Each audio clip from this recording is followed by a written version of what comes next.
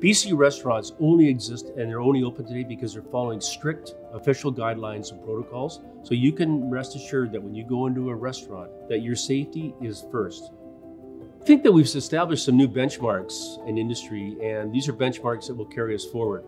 So it's going to be huge emphasis on in the future on, of course, food and, the environment, but we're going to lead always with health. And as far as we can see down the road, health is always going to be number one at the restaurants.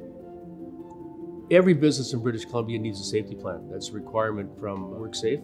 And in those safety plans, it directs a restaurant what it has to do. In the cases of what you see in a restaurant are all the different protocols that a restaurant has to do to ensure safety of, of the staff and safety of its guests in the restaurants. And we've launched a program with the provincial government called the Consumer Confidence App. And you'll start to see restaurants and eventually other businesses that will have a QR code in the front of their door and it says this restaurant has gone through COVID awareness, it has a safety plan, and if you click on that QR code, it'll actually take you to the safety plan if you want to read 40 pages or so. But the fact is, is that from a consumer confidence point of view, it works really well. You're going to see innovations on patios forever. Patios are, will become way more permanent, not just a sort of an afterthought.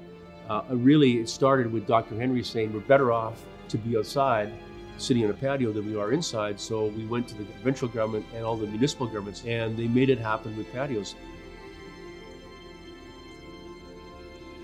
If you're going to go out, know that you're going to have a great experience and a safe experience.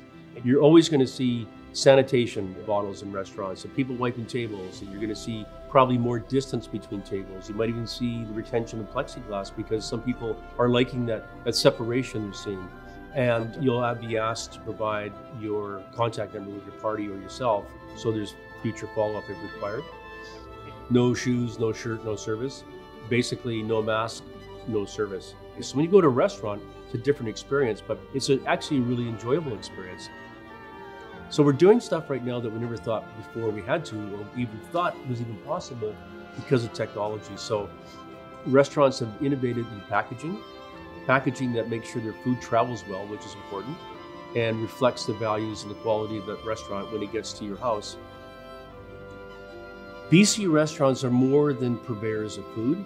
They support regional farmers, we have bakers, wine industry, beer industry. We have a craft spirits industry in British Columbia. Little companies that feed restaurants that show off and showcase British Columbia. So when you visit a restaurant, it means you're supporting not just that restaurant, but you're supporting the entire community that goes to help that restaurant stay open, including the staff.